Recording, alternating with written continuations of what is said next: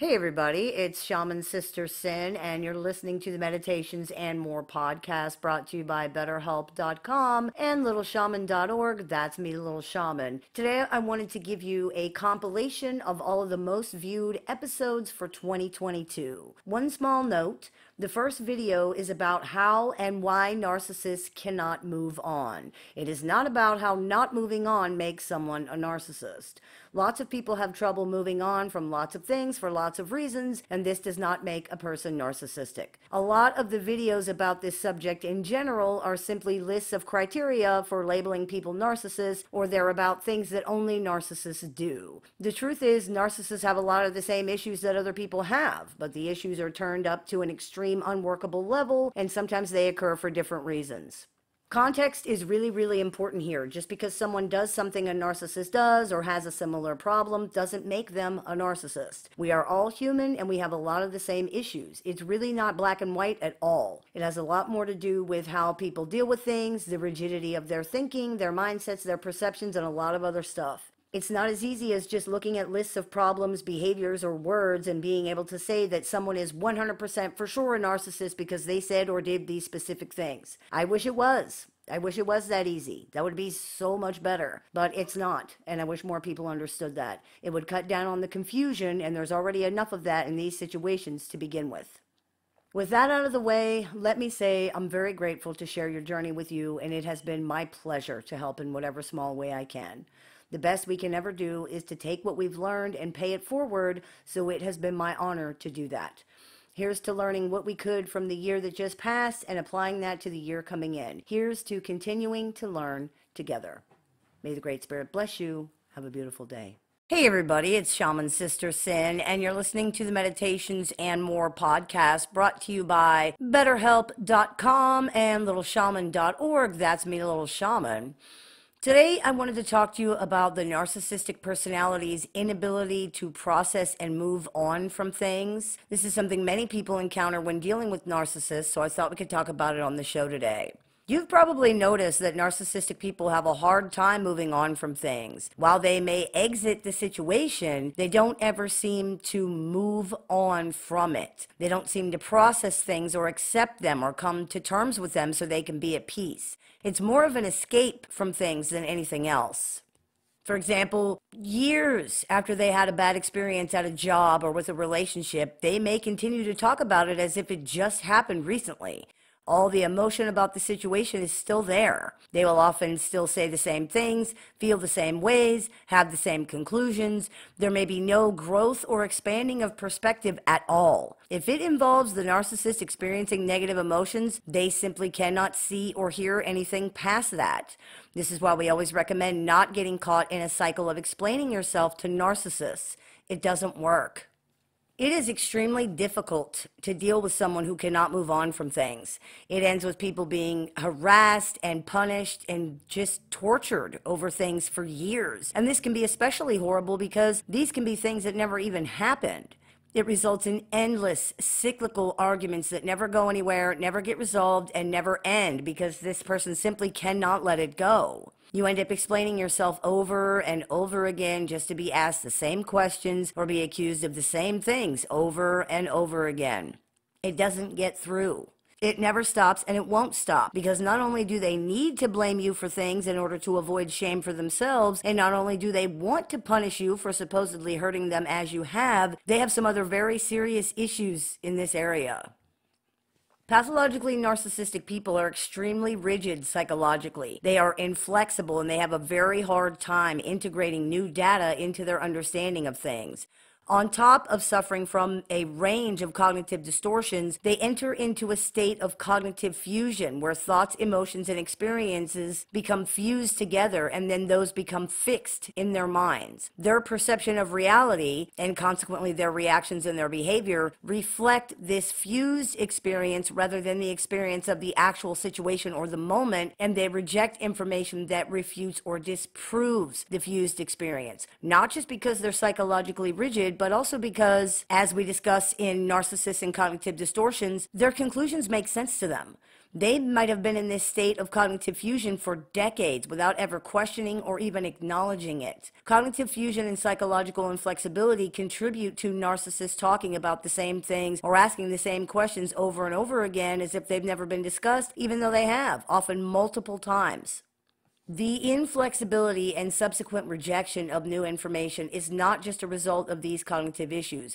They are also an automatic defense reaction because acceptance or consideration of the new information would cause narcissists to experience an unwanted or negative emotional event, such as being wrong.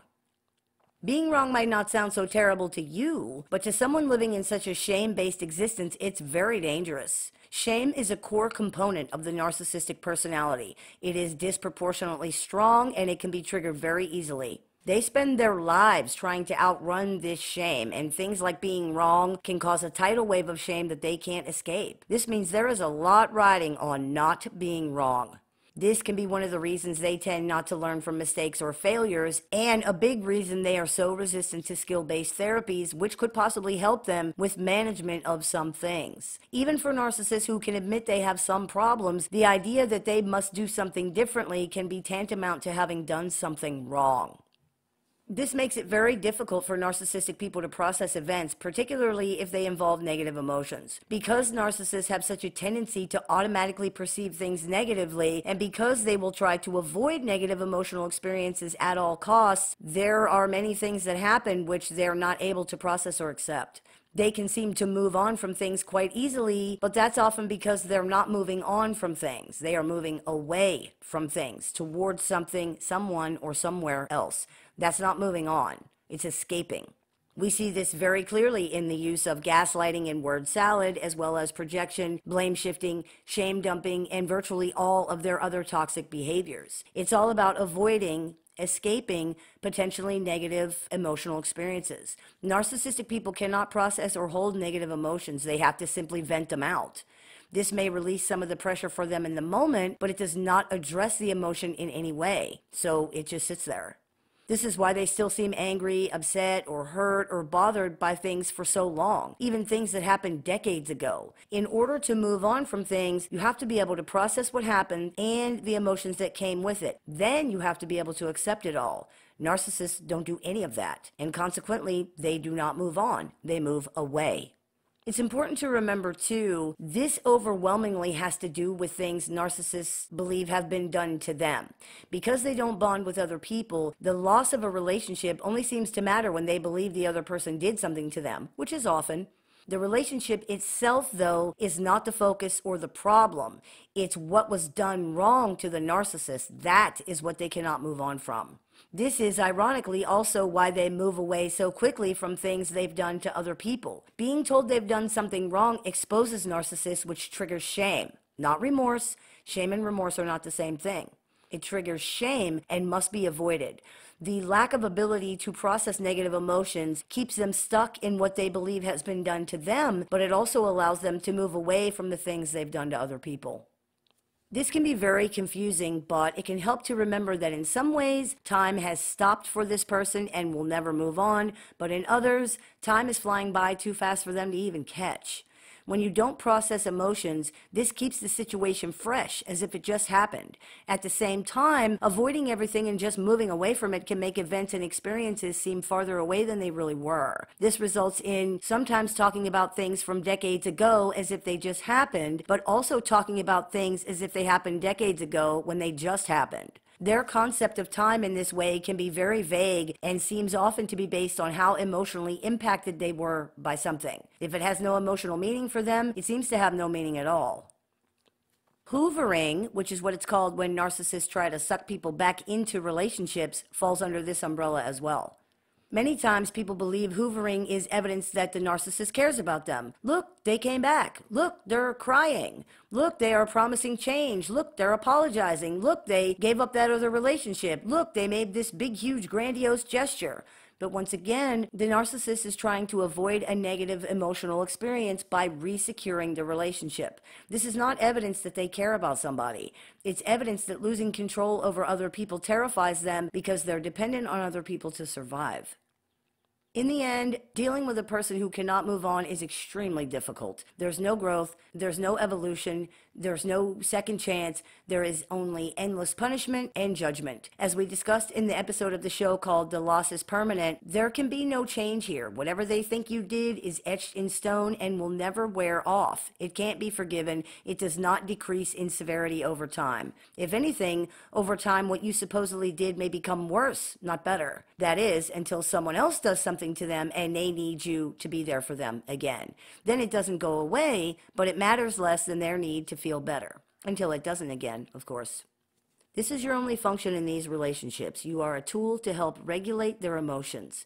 That hurts. It really does. But at least you will move on from that hurt eventually. They won't. I hope this clears a few things up for you. As always, I look forward to your comments, questions, and suggestions, so please keep those coming.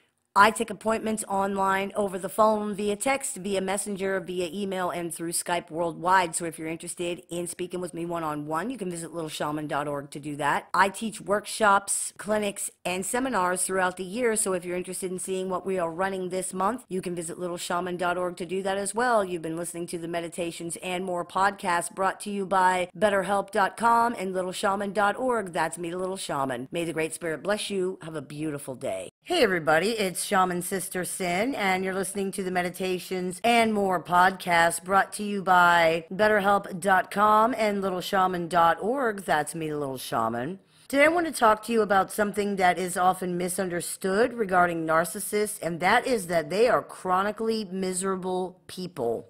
It's easy to believe that pathologically narcissistic people are skipping through life without a care in the world because many of them have no real empathy and no real remorse. Some don't even seem to have an understanding of the chaos and damage they have created, so they're certainly not bothered by guilt over their behavior. However much sense this makes, it's not quite the truth. This viewpoint assumes that other people besides the self are the only real source of unhappiness, and so if someone does not care that they've hurt other people, there's nothing else that could bother them. That's not reality. The truth is, other people are a source of pain, but we can be and often are hurt by things about or within ourselves. People sometimes make the mistake of believing that if someone has little or no empathy, they have no feelings. Empathy is the understanding and acknowledgement of other people's feelings. People sometimes assume that if someone does not understand the feelings of other people, it must be because they have no feelings of their own. This is not the case. For narcissists, the problem is not with the feelings part of this equation, it's with the other people part. Narcissists have feelings. They might not be able to identify or connect with them very well, but they do have them. They understand how it feels to be hurt. They don't understand the reality of other people's feelings. They may intentionally hurt others to make themselves feel better, but there doesn't seem to be any ability to understand what this actually and realistically means for the other person. It's about them. The feelings of others seem to be experienced in a very egocentric, even abstract way. They're not really perceived as reality. People sometimes assume that narcissistic people must have an understanding of emotions in order to manipulate other people. That isn't really true either. We often use the remote control metaphor here on this channel to describe how narcissists are able to manipulate people without having any true understanding of how or why that works you know that if you press a button on a remote control, the device it's paired with will react in a certain way or do a certain thing. You probably don't know how it works, and you don't need to know how it works to use it. This is how many narcissists use manipulation. To take that metaphor a step further, if the remote stopped working the way you wanted it to work, you might bang it on the coffee table or toss it across the room in frustration, but you wouldn't be doing that because you're trying to hurt the remote. That would require you first having an understanding of how the remote feels, and second, it would require the remote's feelings to cross your mind. That doesn't happen though because a remote has no feelings that you are aware of or that matter. The remote doesn't matter. It's just a convenient target. What matters is that you are frustrated and attacking this object makes you feel better.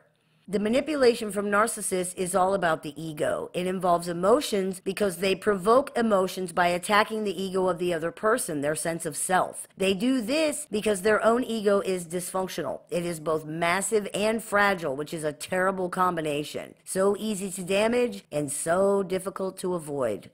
The pathologically narcissistic ego is beset by shame at every turn. Disproportionate, delusional, toxic shame is a core component of pathological narcissism. The grandiosity and egocentricity you see in these personalities is not just a function of arrested emotional development, it is a direct knee jerk reaction to that toxic shame. Empathy is a function of maturity, and to say narcissists are immature is a drastic understatement. They simply did not reach the point in maturity where they can understand, care about, or even see the feelings of other people and have grown into functioning without it. While this ostensibly relieves them from remorse for their actions and the pain that empathy visits upon most human beings when we've hurt other people, it does not mean that nothing bothers them. They have many, many problems with themselves. That shame is just one of them. This is probably part of the reason empathy is so difficult for them. They're just trying to survive and they would not have any bandwidth left for other people even if they did understand. When people wonder if narcissists are happy, a question that might be considered is Do happy people do the things that narcissists do? The answer is no, they do not. Narcissists may appear to be happy. They might say that they're happy. They may show in public or on social media that they're happy, but so what? You already know they lie and that they put on an act. What makes anybody think that this would be different? Their behavior proves their public face is a lie. People who are happy do not do the things that narcissists do. They do not say the things that narcissists say. They do not believe the things that narcissists believe. People who are happy can love and trust and believe. They feel joy. They can accept themselves. They're not prisoners of paranoia and delusional fears that make no sense. They're not poisoned by toxic shame. They aren't jealous and petty. They don't need to ruin or sabotage other people or hurt them in order to feel better. They don't have to manipulate others in order to survive or trick other people in order to feel a sense of self worth. They don't have to pretend to be somebody else. Do you know anybody who you believe to be a narcissist that fits that description? This is one of the reasons they're always ruining holidays, birthdays, vacations, special occasions. To us, they're ruining a good time, but in reality, they're not ruining good or pleasant times because for them it's already ruined. It's already unpleasant because they are always miserable. They seem to be envious that other people are not as miserable as they are and seem to legitimately want to ruin that. Misery loves company, and why should you get to be happy when I don't? Why should people like you when they don't like me? Why should you be comfortable if I'm not? Why should you be able to sleep if I can't sleep? Why should you be able to work if I can't work? It's like dealing with a cranky two year old. If they're not having fun, nobody is having fun because they will not allow it. The entire thing has to revolve around their feelings. If it doesn't, at the very least, they will behave so atrociously that no one can enjoy themselves, and at the very most, they will intentionally, purposefully punish everyone there for not caring. Not only does this help them to regulate themselves by venting the negative emotions they can't process or hold, it makes them feel better to ruin things for other people. This is the same mean satisfaction you see in a child who destroys another child's sandcastle because they believe it's better than theirs, or who breaks another child's toy because they can't have it. And of course, there are some people who are mean just because they like to be mean. They are miserable, nasty folks who get pleasure out of watching other people suffer and being as unhappy as they are. Narcissists also attempt to bond through negativity. This is another example that shows how miserable they really are. They attempt to bond by gossiping, complaining, gang stalking, and acting like flying monkeys, sharing negative stories and anecdotes, attempting to rescue people who seem to need help, and preying on their vulnerability or looking for sympathy by constantly claiming that they've been mistreated. Negativity actually seems to attract narcissists, as we discussed in a previous episode of the show, and commiseration is one of the ways they attempt to ingratiate themselves to other people. This is dangerous because we have a human need for the support of other people, and because legitimately talking out your problems is not a bad thing. Because of this, narcissists can often take advantage of spaces like group therapy, addiction treatment, and other places where they can use this type of negativity as a tool with less risk of being rejected or being called out. When we look back at our relationships with narcissistic people, we might see that a lot of it revolved around this kind of toxic negativity. Some of the best conversations you have had with narcissists may have been when you were talking about something that you both dislike. Or you may find that the only time they ever really have anything to say is when it's gossip or a complaint or some other type of negativity. Happy people are not happy all the time, of course, but they don't feed off negativity. Narcissists seem to do that. When you start to outgrow this kind of relationship, you might notice that you no longer feel like you have very much in common with this type of person anymore. You have grown and matured, but they have not. In the end, we only have to look at their behavior to see that these are truly miserable personalities.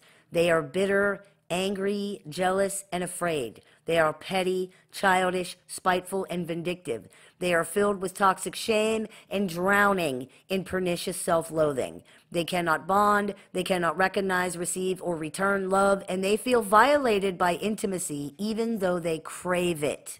They live in a world they perceive as chronically unsafe that they don't know how to navigate with no tools and no ability to acquire tools. They will never get what they want. They will never want what they have. They will never have what they need, and they don't know how to get it. The best they can do is put on these second rate performances that stand up to no scrutiny at all and hope that someone is kind enough and good hearted enough to oblige them. That isn't happiness, it's misery, and for them, it never ends. I hope that clears a few things up for you. As always, I look forward to your comments, questions, and suggestions, so please keep those coming. I take appointments online over the phone, via text, via messenger, via email, and through Skype worldwide. So if you're interested in speaking with me one on one, you can visit littleshaman.org to do that.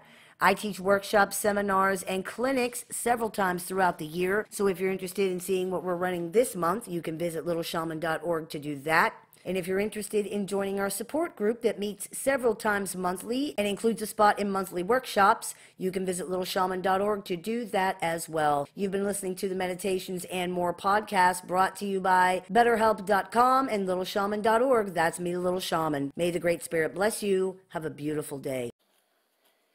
Hey everybody, it's Shaman Sister Sin, and I just wanted to talk to you for a few minutes about trying to redeem yourself in the eyes of narcissistic people. When you are dealing with narcissists who are holding the past against you, remember two things. Number one, you cannot ever erase or unhappen things that are in the past. And number two, short of doing that, nothing is ever going to be good enough. Years can go by before you discover this.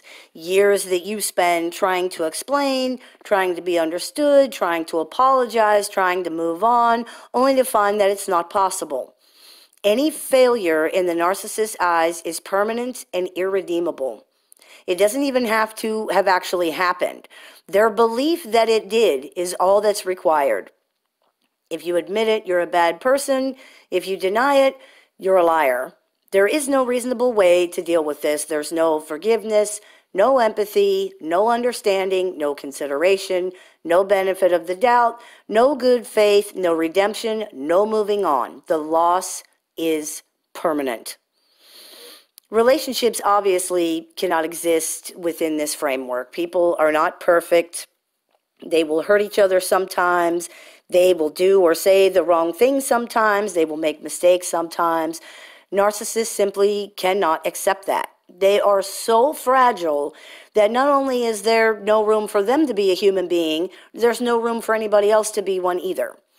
Any deviation from perfection seems to be seen as a permanent failure. The fact that it could happen at all is evidence of how unsafe, unreliable, untrustworthy, etc. somebody is.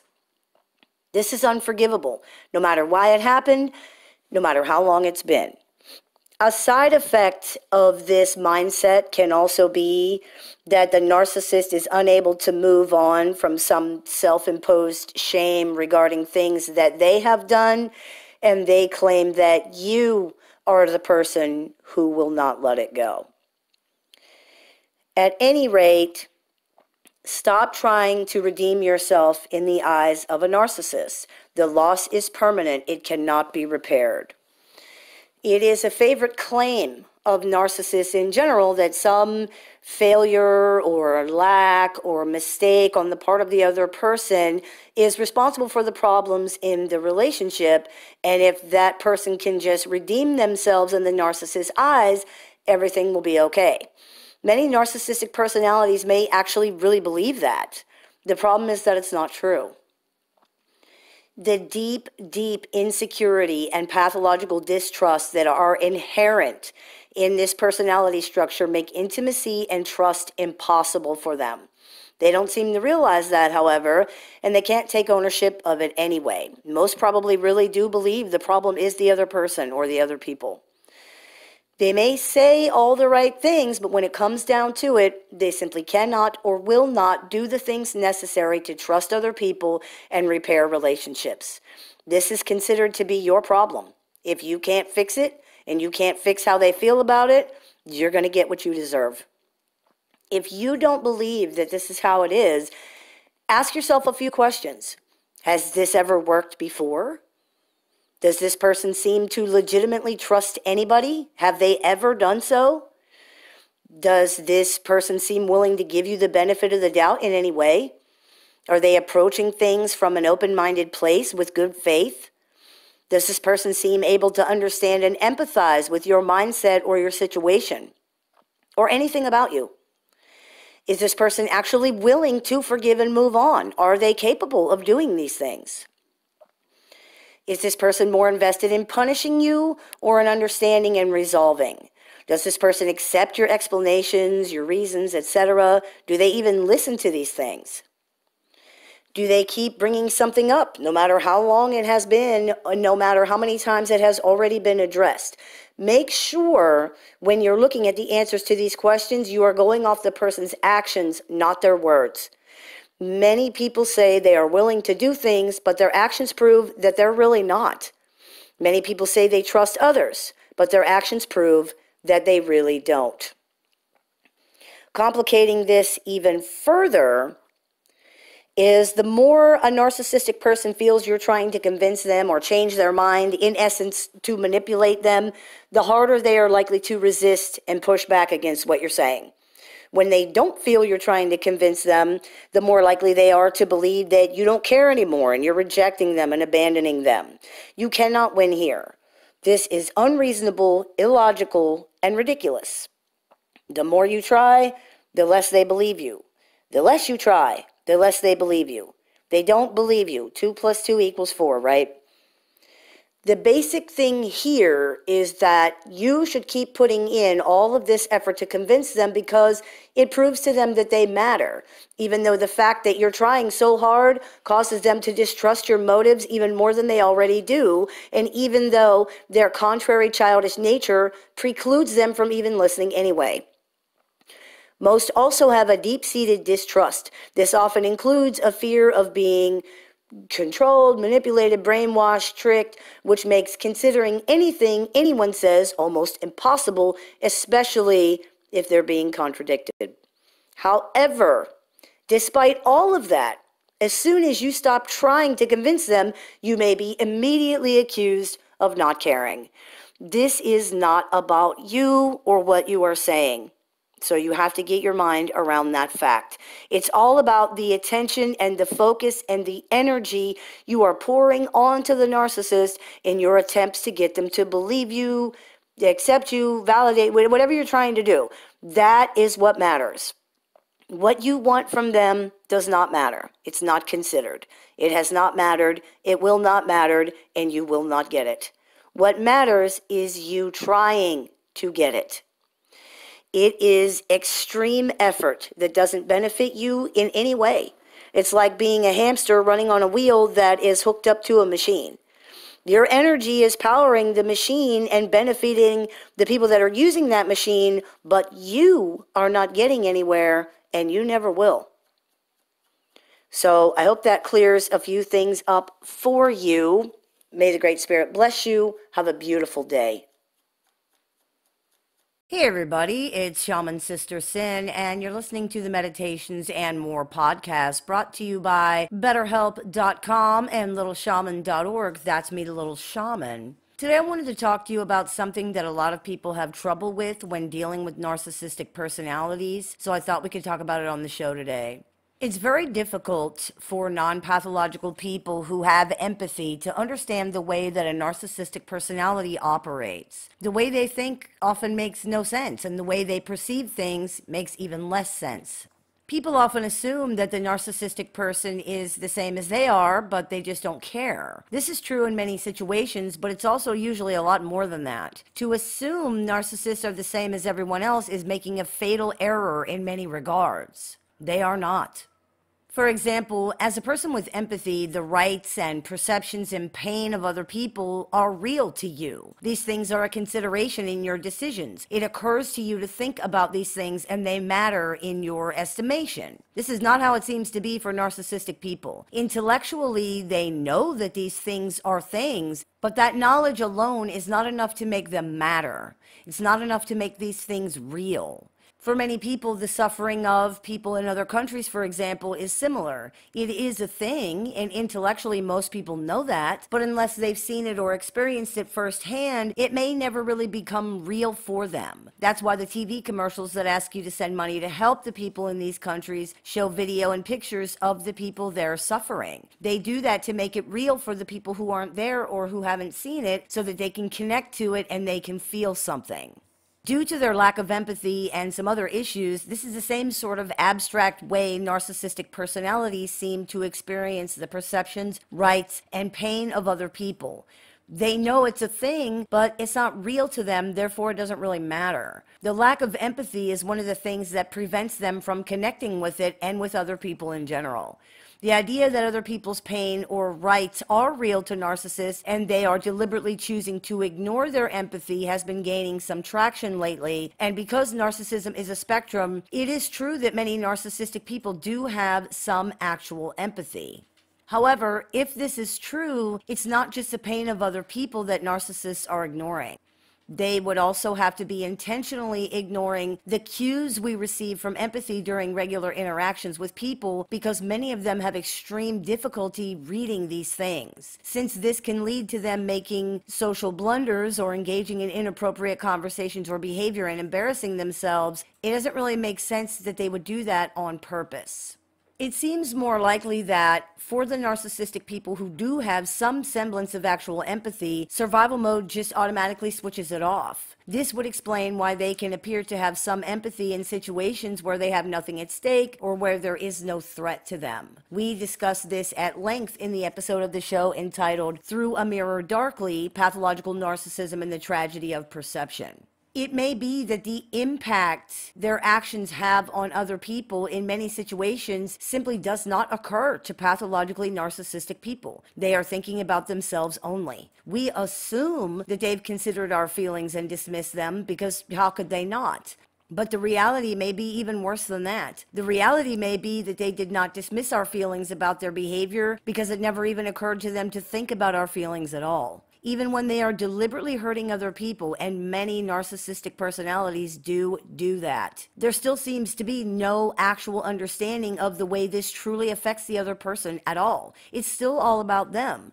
The other person is just a convenient target. They are a tool that the narcissist is using to regulate themselves, and that's it. They don't seem to have any understanding of what they have actually done, and they don't seem to care because it doesn't matter. Their feelings are what is real to them.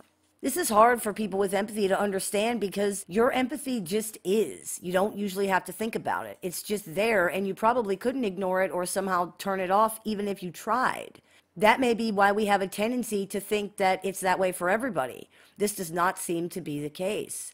Narcissistic people genuinely don't seem to have that process, and assuming that they have it but are ignoring it assumes they could stop ignoring it if they wanted to. and maybe some of them could. However, there are many, many examples of situations where pathologically narcissistic people legitimately do not seem to understand the feelings of other people or the impact that their behavior is going to have, even when it was to their own detriment. This, of course, does not track with ignoring empathy when it benefits them, because a lot of these situations don't benefit them. They are self sabotaging. It's very hard to fake genuine confusion and genuine surprise. Narcissistic people may display both of these when being told that their actions have hurt or impacted other people. It might pass across their faces very quickly, but you can often see it in their eyes. They really don't seem to get it, and they usually have zero curiosity about it or any desire to learn more. They just want what they want, and they want to avoid negative emotional experiences because they can't tolerate them. The rest of it is just noise. It doesn't matter. It needs to be said, though, that even if this is the case, this does not excuse their behavior. They know that hurting other people is not okay. They don't need to care about that in order to know it or to be held responsible for their hurtful behavior. They do need to care about it in order to stop themselves from doing hurtful things, however, and this is where the problem lies. Your pain is not real to them, and because of that, they don't care about it. It doesn't matter. This is where understanding these kinds of things is really important. So much of the pain in these relationships is about trying to make your feelings and your rights and your perceptions real to the narcissist in your life and the hurt and the frustration you feel when you're not able to do that.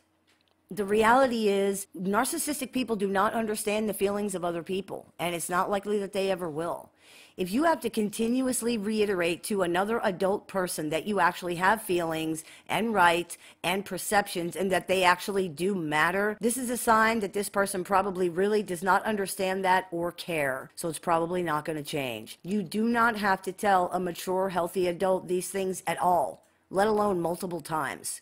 Even most immature, unhealthy adults understand that the fact that you do have to tell someone these things and then you have to remind them over and over again is a major red flag of a much, much bigger problem. It's hard to stop doing this. As a human being, you want to be understood and heard. The truth is, though, this person is not going to be able to do that for you. You're not looking for too much, you are looking for it from the wrong person.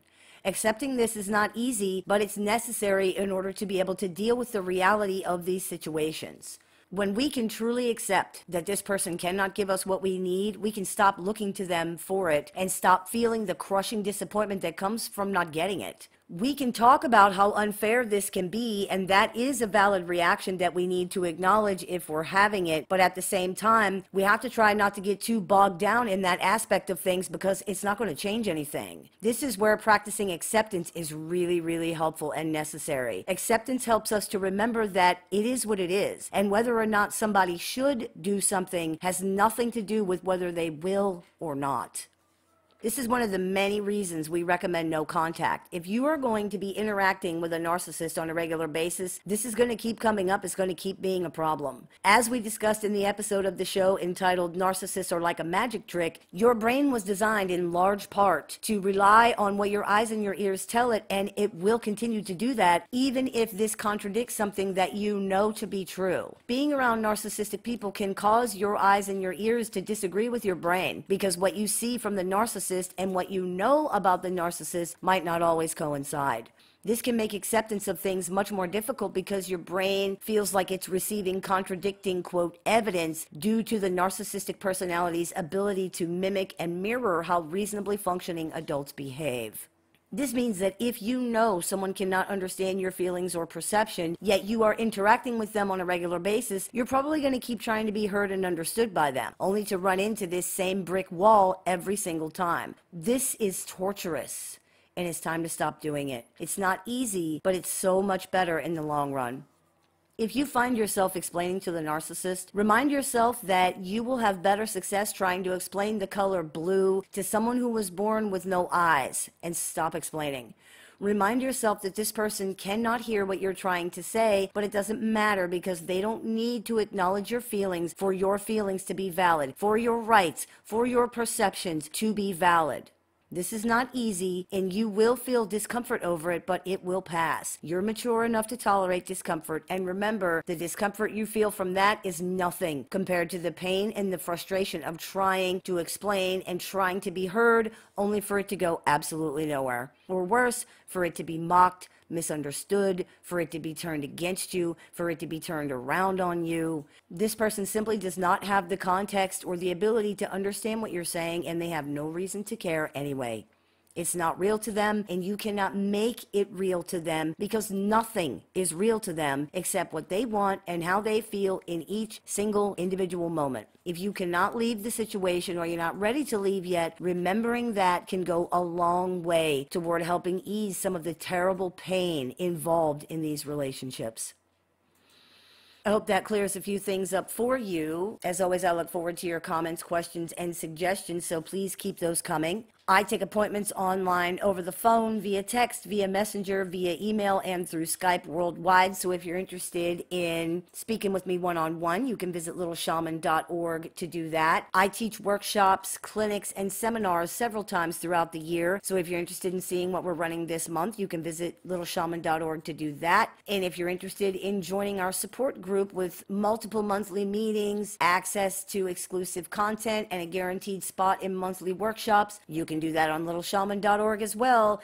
You've been listening to the Meditations and More podcast brought to you by BetterHelp.com and LittleShaman.org. That's me, the Little Shaman. May the Great Spirit bless you. Have a beautiful day. Hey, everybody, it's Shaman Sister Sin, and you're listening to the Meditations and More podcast brought to you by BetterHelp.com and LittleShaman.org. That's me, the Little Shaman. Today, I wanted to talk to you about something that often misleads people in narcissistic relationships, and that is that the most terrible thing about most narcissists is that they're not always terrible. It's very common to hear narcissists described as relentless monsters and evil manipulators, and they certainly can be, but they usually aren't always like that. If they were, dealing with these relationships would be much easier in many ways. For example, it would be easier to walk away from these relationships because if the person were always terrible, then there would be nothing to stay around for. It wouldn't be so confusing. You wouldn't be so conflicted. This is perhaps the most hurtful, destructive aspect of these relationships because it gives people hope. When that hope gets ripped away from you, it's brutal. The fact that narcissists are not terrible all the time can seem like evidence that things are changing or that they're getting better. It is extremely misleading because it's not the end of the problem, it's part of it. The idealized devalue cycle is a hallmark of narcissistic relationships. Idealization is a period of time where the narcissistic personality believes that the other person is perfect, or at the very least, good with virtually no bad or negative qualities. Every motive that the person has is considered good and helpful. This period or stage is characterized by love bombing, putting you on a pedestal, trying to please you, or stating that you please them, basically behaving as if the relationship and or the partner is perfect or really special. When the narcissist's idealized version of us lines up with our ego's idealized version of ourselves, the potential for damage is huge when we inevitably fall from the pedestal.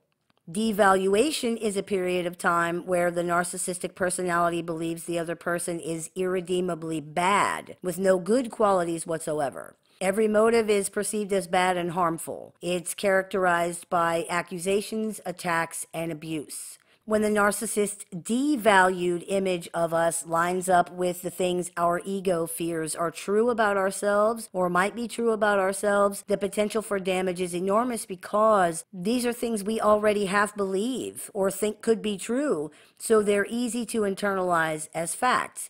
If someone else sees it in us, we might think to ourselves, maybe it is true. This can be extremely damaging to someone's self image. Now, we often hear these stages or periods talked about as if they happen in a linear progression idealize, devalue, discard. And sometimes they do. Sometimes a discard does follow the initial period of devaluation. However, what is also common is a vacillation between idealization and devaluation without a discard, where the relationship continues with the other person being alternately devalued and idealized based on the narcissist's perception of them and really nothing else. The perception can switch depending on the narcissist's interpretation of events that actually did happen or for no reason at all that you can really understand it is this push pull that is the reason these relationships can be so damaging and so difficult to leave. Not only does this create trauma bonding and addiction, if the relationship enters a period of devaluation and just stays there, people can understand that more easily than dealing with someone who is alternately loving and then cruel for what appears to be no logical reason. It's easier to forgive or look past horrible behavior when there is kind behavior to compare it against. Because the other person is blamed for the narcissist's shift in perception, people often start to believe they can somehow fix this and the relationship will be good all the time. The idea that this is not possible or even realistic doesn't ever seem to occur in this situation. They either don't realize or don't want to admit that the idealization stage is not sustainable in any relationship, no matter what, because it's not reality. We have to be able to see people as they really are and accept them. If we can't, the relationship will not work. This is what happens with narcissists. They don't see people as they truly are. Whether for good or for bad, they are only ever reacting to a fantasy image of somebody that they have created in their mind. This is what the idealization and devaluation stages are about. They are not about you as a person. They are about the narcissistic personality's inability to hold one stable, cohesive image of a person in their mind. This is why, in a very sad case of irony, they will often accuse other people of having multiple personalities or of being like Dr. Jekyll and Mr. Hyde. The way they perceive you has changed, and now everything you do is being viewed through that lens. Yesterday it was okay to say this, now today it's not because now your motive is perceived as totally different based not on how you feel, but on how they feel. It's not possible to argue with this or disprove this. As we have discussed in several episodes of the show, most recently the show entitled Narcissist and the Unfalsifiable Hypothesis, feelings are facts to a pathologically narcissistic personality. They are falling into a cognitive distortion that's called emotional reasoning, which means they believe their feelings are evidence of how things really are, even if there is no other evidence except for their feelings. I feel that you hate me, so it's a fact that you're feeling that. That's really how it is. I feel that you think I'm stupid, so it's a fact that you are thinking that. I think you're doing this. I feel that you're doing this. That means you are.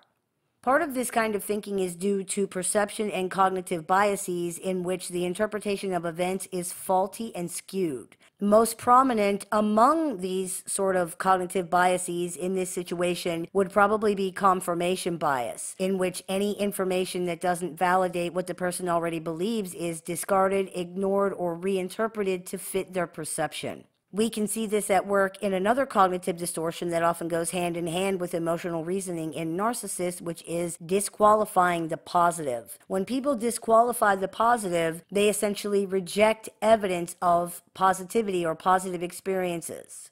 They reject any information or experiences that reflect this, or they behave as if those don't count. It's black and white, sort of all or nothing, good or bad thinking without the good. It's a double standard in which all of the negative evidence or information counts, no matter how weak it is, but none of the positive evidence counts, no matter how strong it is. Though we certainly like it better when they are engaging in good or bad thinking without the bad, idealization, it's important to realize that this is not any better. It still isn't reality. It feels good, but it's not good for us or the relationship, and it doesn't last. As high as you go up on that pedestal, that's how far you will fall down when the crash comes, and it will come because idealization is not sustainable. The important thing to remember is that narcissists are not usually people who are evil and horrible all the time. It can get like that, but it doesn't usually start that way. If we are only looking out for people who are evil and horrible all the time, we will be vulnerable to the many, many narcissistic personalities who don't present that way. They're not always greedy and stingy, or they're not always rude to the waiter. They don't all say hateful things to their mothers. They don't all cheat. They don't all refuse to apologize. Some do, but some don't. The ones that don't are not less narcissistic just because they don't. They have just learned different ways to behave. Many times people don't like to hear these kinds of things because it seems like it makes it more confusing and more difficult to tell who's a narcissist and who's not. But humans are complex. We're talking about the human personality. It can't really be laid out in a black and white fashion or listed like a recipe, even though that would certainly make it a lot easier. The truth is, it doesn't matter if someone is not terrible all the time. It doesn't even matter if they're a narcissist or not. What matters is if you want to deal with their behavior overall, if you feel good about the way the relationship is going and how this person treats you. If you don't, then whatever they are or are not doesn't really matter. I hope that clears a few things up for you. As always, I look forward to your comments, questions, and suggestions, so please keep those coming. I take appointments online, over the phone, via text, via messenger, via email, and through Skype worldwide. So if you're interested in speaking with me one on one, you can visit littleshaman.org to do that. I teach workshops, seminars, and clinics throughout the year. So if you're interested in seeing what we are running this month, you can visit littleshaman.org to do that. And if you're interested in joining our support group with monthly meetings and a guaranteed spot in monthly workshops, you can do that on littleshaman.org as well. You've been listening to the Meditations and More podcast brought to you by betterhelp.com and littleshaman.org. That's me, the little shaman. May the Great Spirit bless you. Have a wonderful day. Hey, everybody, it's Shaman Sister Sin, and I just wanted to talk to you for a few minutes about trying to be seen and heard by the narcissistic people in your life. It's definitely a normal thing to want to be seen and heard by others. The problem comes when this person has made it clear that they do not see or hear you in a way that makes sense but you still keep trying. This is often related to an abandonment wound in someone's past. And it feels very important to, quote, fix this by somehow convincing the other person to see you as you see yourself. This is also an ego trauma because this kind of thing attacks your very sense of self. It can be very, very damaging. Unfortunately, we see this in relationships with narcissists all the time. In fact, it's one of the things that can keep people stuck in the relationship the desire to be seen and heard and understood by this person. I addressed it a bit in the videos called Stop Explaining to the Narcissist and Stop Defending Yourself to the Narcissist. The desire for someone to see you as you see yourself can be very strong. It can feel like a need, it can become disproportionately important in someone's life where they spend huge amounts of time and energy trying to convince the other person or people to see them as they see themselves. This feels like trying to prove your worth to the other person, but it's actually trying to get them to prove your worth to you by choosing you or by acting as you believe they should act or that they would act if they could see your worth. The truth is, it doesn't have anything to do with that. Their perception of you is about them, it's not about you. And we can't control the perceptions of other people. They are going to see us how they see us. And if their perception doesn't agree with the reality of the situation or the person, there's not a whole lot anybody can do about that except decide if they want that kind of person in their life or not. If reality doesn't speak for itself, Nothing you say is likely to make a difference. So, before trying to explain something to someone, look past your desire to be seen, heard, and understood to evaluate if they actually can see, hear, and understand you. Because if they can't, you're wasting your time. Not only are you wasting your time, in most situations, it's really hurtful and stressful to try to be seen and heard and understood by somebody who's not willing or able to do that. Some people don't have any time or space for the feelings or problems of other people. They just don't. And wanting them to be able to do that for you does not make them willing or able to do it. Before investing energy and emotion into this, ask yourself if what you're expecting from this person is realistic. It may be reasonable but that doesn't make it realistic. Just because something is the fair thing or the right thing doesn't mean that someone can or will do it. Our standards should be the same for everybody, but our expectations need to be based on the reality of how someone actually is, not how we want them to be, think they should be, or wish they were.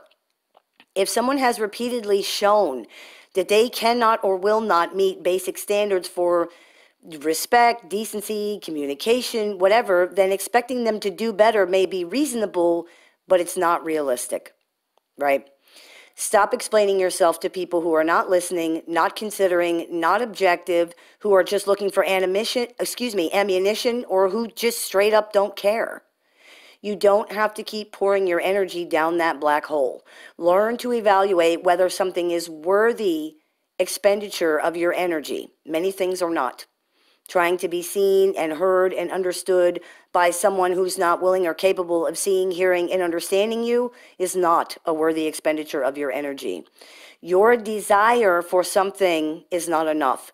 The other person has to have a corresponding desire to give you what you want, and they have to have a corresponding ability to give it to you. If they don't, then they don't. It can be difficult at first to sit with the discomfort of not explaining, but it will pass.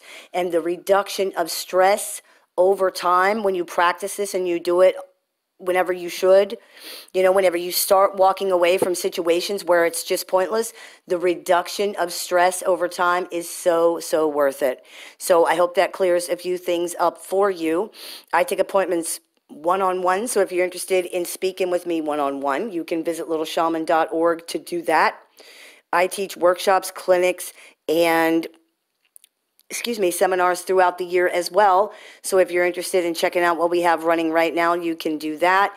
And we also have a support group, and membership into that includes weekly support meetings, a support forum, weekly support email with access to exclusive content, and a few other things. And you can also find that on littleshaman.org as well. Thank you very much for your comments, questions, and suggestions. I always look forward to those. You've been listening to the Meditations and More podcast. May the Great Spirit bless you. Have a beautiful day.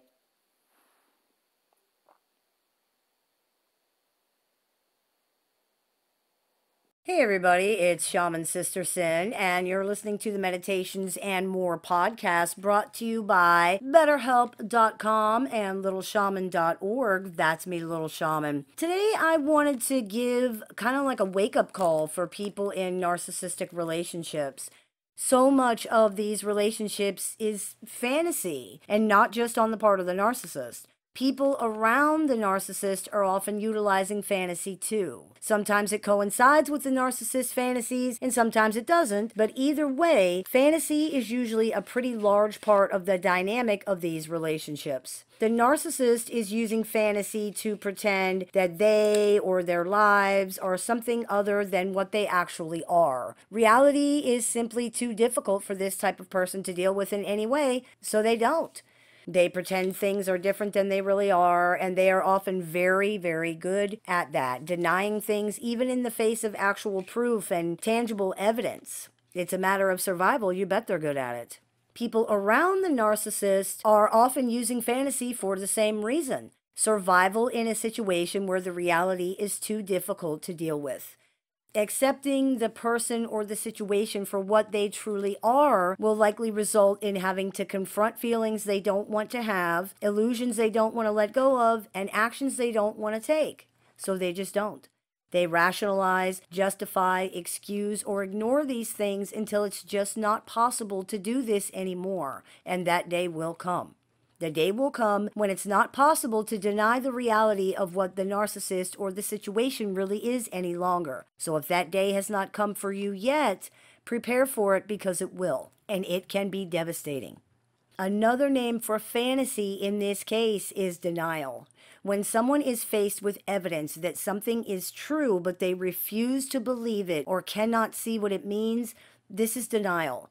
Many people in narcissistic relationships are in deep denial about what's going on. There are definitely people who don't understand, but that's not what we're talking about. Denial is not simply not understanding, it is refusing to understand, even in the face of proof or evidence. Even if someone does not understand what a narcissist is, they still know, for example, that someone apologizing but never changing their behavior is not sorry or that someone who lies constantly is not honest and therefore cannot be trusted. It's important to understand that these fantasies contribute to cognitive dissonance, which is a huge factor in people feeling stuck in these relationships and unable to leave. The idea that things will someday change is extremely common in relationships with narcissists, as is the idea that somehow the people around the narcissist are going to be able to manage or control the narcissist and therefore change or fix them. Both of these things are fantasies. It's not possible to fix or change other people. They have to fix or change themselves if they have the capability to do so, and some people do not. People sometimes don't want to hear that or to believe it, but it's the reality. Some people do not have the ability to do the work, they just don't.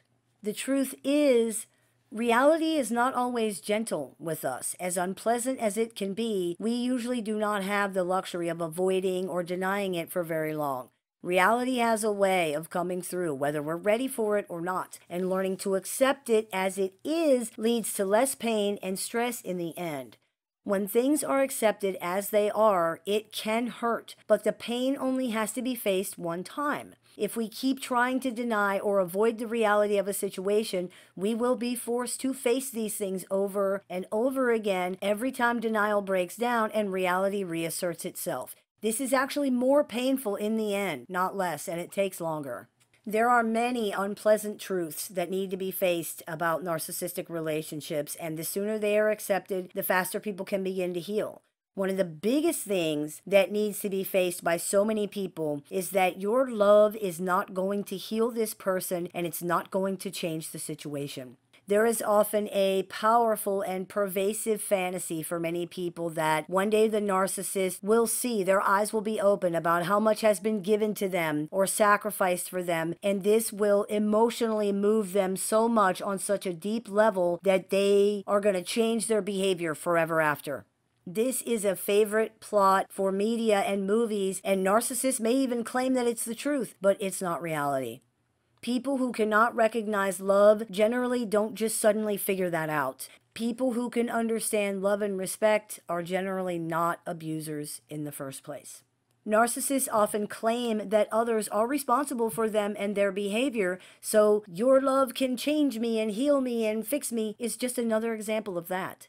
The idea that special love or repeated sacrifice and self betrayal is going to one day touch this person so much that a lifetime of behavior and conditioning and thought processes and mindsets and justifications will simply change is just not realistic.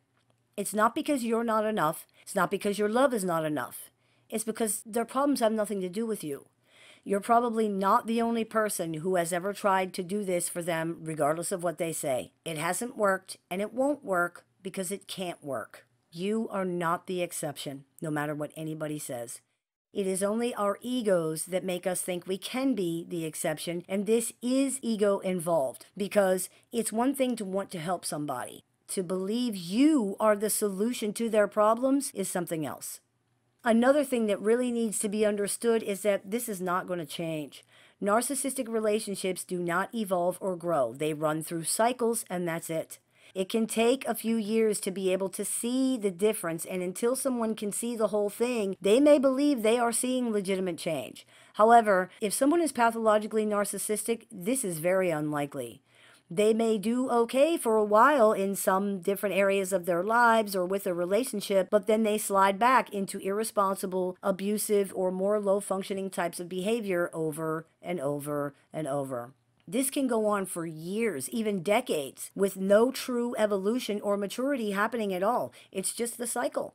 Just like the pattern of the relationship goes in a cycle, oftentimes the functioning of narcissists does too it can be very difficult for people to understand that there can be a situation where someone just does not grow or change or learn, but these situations definitely do exist. And relationships that involve narcissists are often exactly these kinds of situations.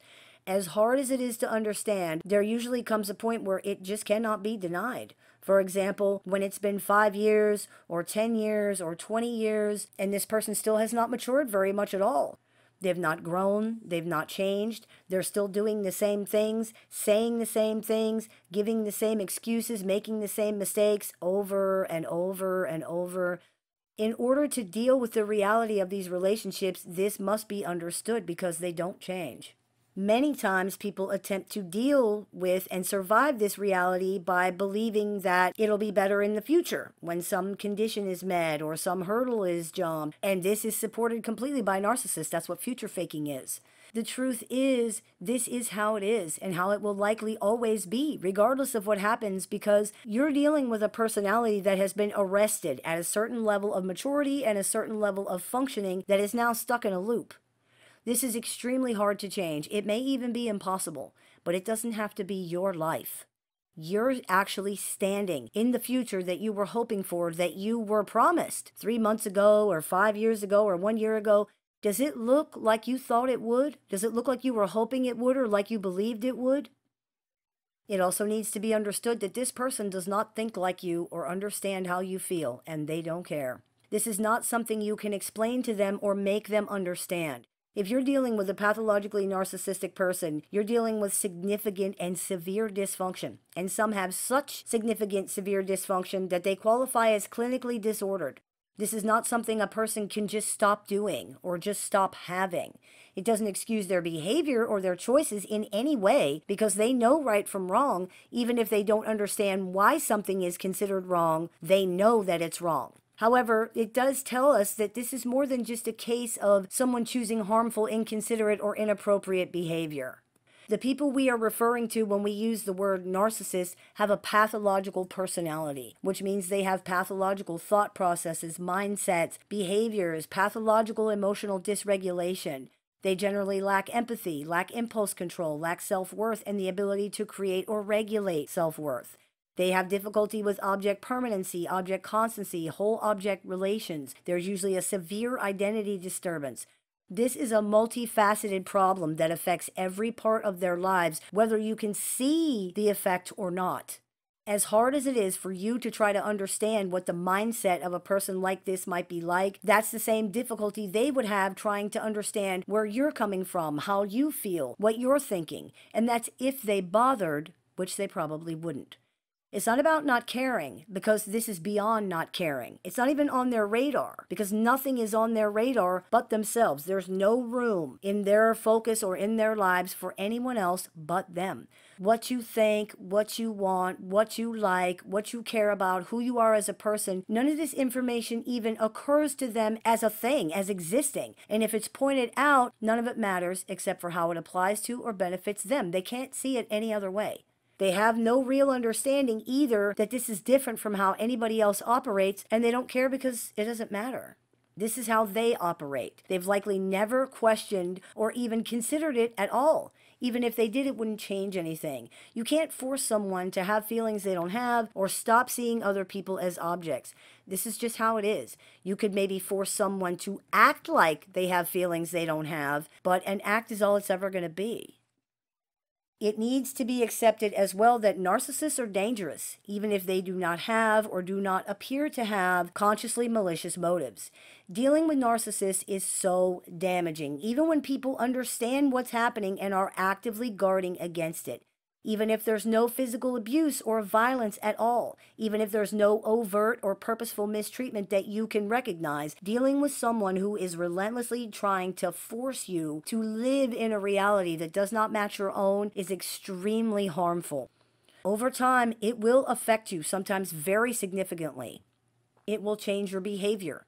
It will change your thoughts and thought processes. It will change your beliefs and mindsets. It will affect your faith in things. It will exhaust you. It will drag you down. It will cause health problems. People need to let go of the idea that they can become strong enough or educated enough or healthy enough to withstand or manage these relationships. Besides the reality that healthy people generally don't intentionally pursue relationships where they're continually neglected, mistreated, used, or devalued, no matter how healthy or strong you become, the narcissist remains the same. They do not change.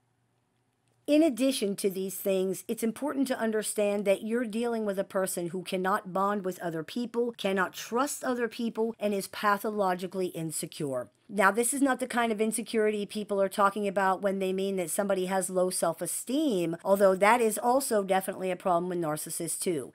This is insecurity on a fundamental level where somebody doesn't feel safe.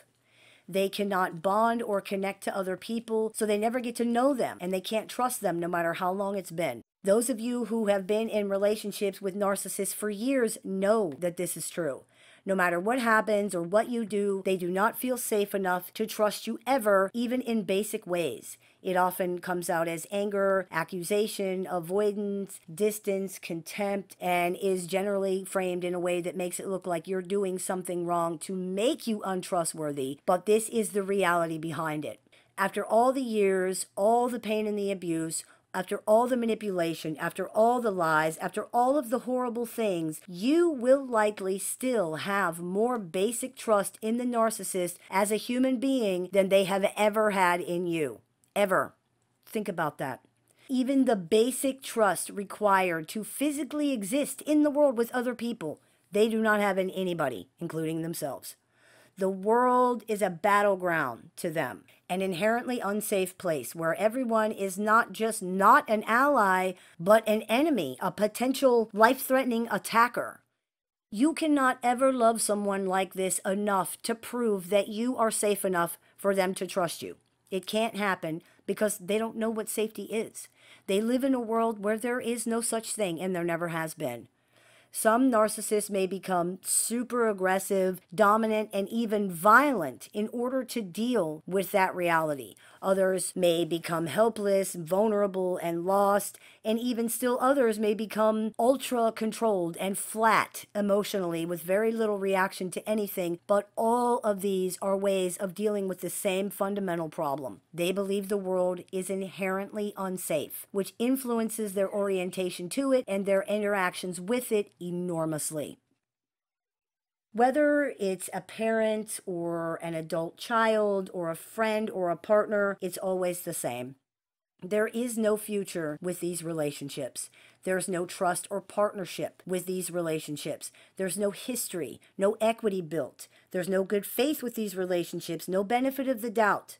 There's no change, no evolution. You cannot communicate with this person. You're not going to be able to communicate with this person. You will not be heard. You will not matter. You will not be able to fix that. The narcissist is not going to wake up one day and realize they've been wrong for their entire lives.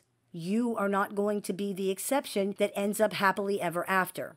The idea that the outcome will be different for us because we are different or our relationship is different is an ego story that really needs to be released because not only is it harmful, it's false. Sometimes we need to believe it so that we can survive and so that we can hold on to the hope that we're still going to get what we want in the end, that this is not all for nothing. It's not worth your health. The reality is, if any of this information resonates with you, then your relationship is obviously not different, and neither is the narcissist you're dealing with. Neither are you. The most important thing to accept and understand is that if you care about yourself, in all likelihood, you are eventually going to have to walk away from this relationship. It's not possible to love yourself and continually choose to be in a situation where you're being mistreated or devalued. Eventually, there will be a conflict that cannot be resolved in any other way. Eventually, the narcissist will do something that literally forces you to choose between your well being and the relationship. It may not have happened yet, but it will. There comes a point where most people become simply too disgusted, too exhausted, and too aware of the reality of what's happening to do it anymore. There will come a point where you simply cannot convince yourself that you or that things or that the relationship are okay anymore. That is when the wake up call becomes too loud to ignore. That's when it becomes too loud to mistake it for anything else. If you are hearing it now, remember where you're going may be uncertain, but it's still better than where you've been. I hope that clears a few things up for you. As always, I look forward to your comments, questions, and suggestions, so please keep those coming. I take appointments online, over the phone, via text, via messenger, via email, through Messenger, and through Skype worldwide. So if you're interested in speaking with me one on one, you can visit littleshaman.org and click the book and appointment tab to do that. I teach workshops, seminars, and clinics throughout the year. So if you're interested in seeing what we're running right now, you can visit littleshaman.org to do that as well. You've been listening to the Meditations and More podcast brought to you by BetterHelp.com and littleshaman.org. That's me, Little Shaman. May the Great Spirit bless you. Have a beautiful day. Hey, everybody, it's Shaman Sister Sin, and you're listening to the Meditations and More podcast brought to you by ShamanSpiritCenter.com and LittleShaman.org. That's me, Little Shaman. Today, I wanted to talk to you about what narcissists are hiding. This is something a lot of people wonder about, so I thought we could talk about it on the show today. Some of these things seem to actually contradict the narcissistic person's actions or their persona, but that's exactly the point. If you find these things hard to believe, it's just a testament to how good the narcissist act really can be. The first thing most narcissists are hiding is that they are having a lot of emotional trouble. People who are pathologically narcissistic generally have a lot of trouble with emotions, their own and the emotions of other people. They have trouble reading and recognizing them. They have trouble understanding them. They have trouble naming or defining them. They just have general trouble in this area. Many narcissistic people struggle with emotional regulation and they find their emotions scary or overwhelming. Others are so disconnected from them that they may be unaware they're even feeling them or what they mean.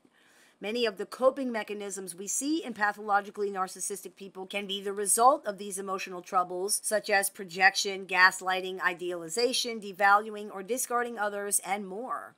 For example, at the core of the pathologically narcissistic personality is deep seated shame, and this drives an enormous amount of their behavior, often completely unbeknownst to them. This shame wears many masks, and it can look like many things, including rage, jealousy, envy, paranoia, self aggrandizement, egotism, and more. When dealing with people who are truly narcissistic, it's important to remember that even though this person might be intelligent, well spoken, and chronologically a grown up, you are likely dealing with someone who is using a maladapted, dysfunctional adult version of the emotional coping and regulation skills of a toddler or an even younger child. This doesn't excuse their behavior in any way, but it can make it a little easier to understand. Another thing they're hiding is that they are not who they pretend to be, ever. At first glance, narcissistic people often present themselves as very different from who they really believe themselves to be. It's not a great act, nor is it capable of withstanding very much scrutiny at all, but it can be very misleading if someone is not looking closely or if they don't know what they're looking at. It's often said that narcissistic people tell on themselves, and this is true, but if you don't know what to look for, you might miss it. For example, the narcissist that is striving to come across as confident and self assured can be very convincing. But if you pay attention, you'll notice there are holes in the performance. Because they're only pretending to be what they think is acceptable or admirable, they don't always get it right. They may be a little too braggadocious, a little too assertive, a little too self assured. This overacting is very common, regardless of what image they're trying to project.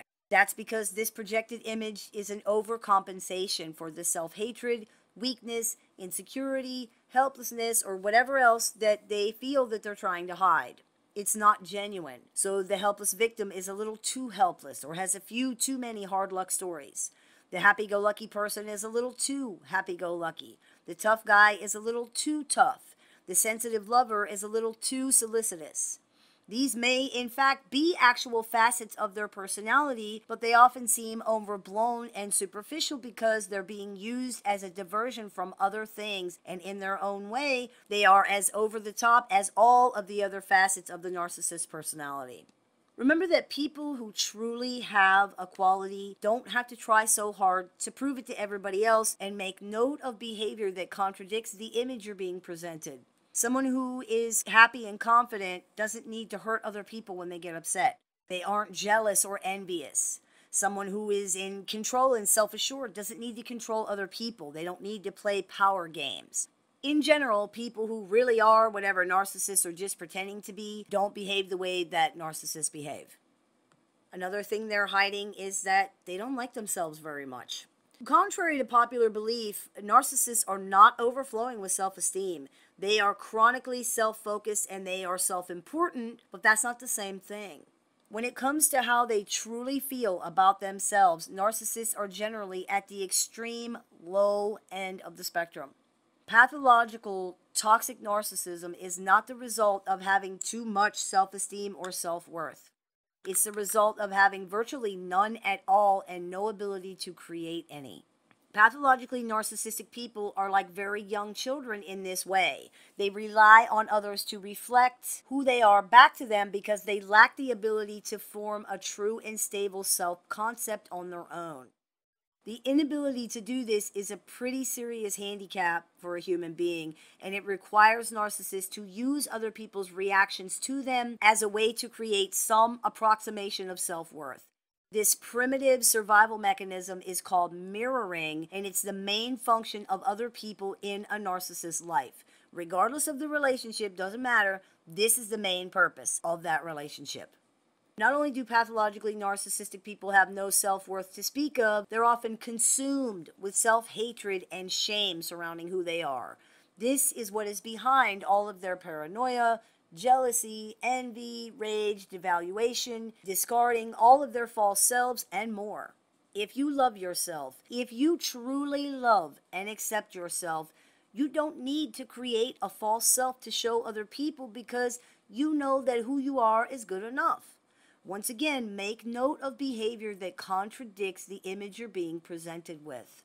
It can be hard to believe this sometimes, depending on the individual you might be dealing with, but that just shows how good this act really can be.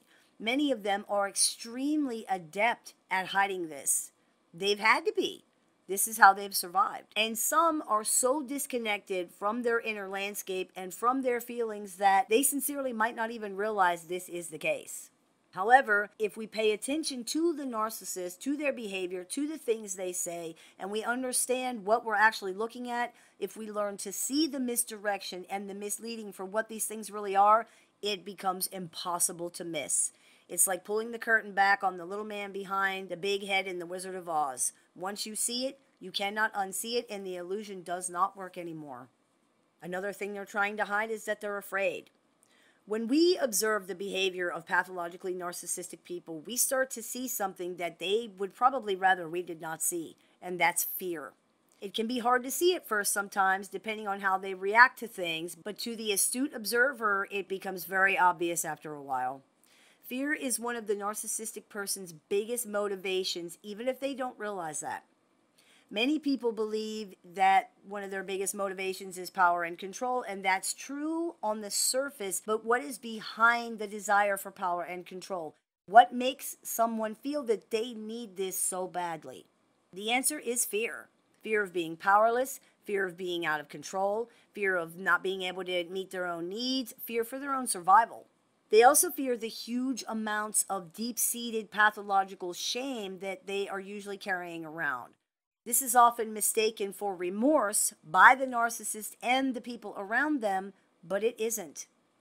Remorse is for other people, and it's usually connected to empathy. Shame is for the self, and it's not connected to empathy in any way. It's all about them. It also usually has nothing to do with anything they've done. It might seem connected, but it's only connected on the surface. The thing they've been called out for is not the real focus, nor is the hurt they've caused the other person. Being called out triggers the shame of being thought of as a bad person who does bad things. It's another example of how horrible they are. This is the focus of the shame, and this thought process does not really address or even acknowledge the wrong that they've done to the other person at all, though this can be difficult to see at first. Their focus is on them, and it stays there. The shame experienced by truly narcissistic people is generally of tidal wave proportions, and with no coping mechanisms to deal with it except their various manifestations of avoidance and denial, they live in fear of being unable to outrun this tidal wave one day. Many narcissists are actually afraid of other people too. They fear trusting anybody or caring about people, they fear allowing others to care about them.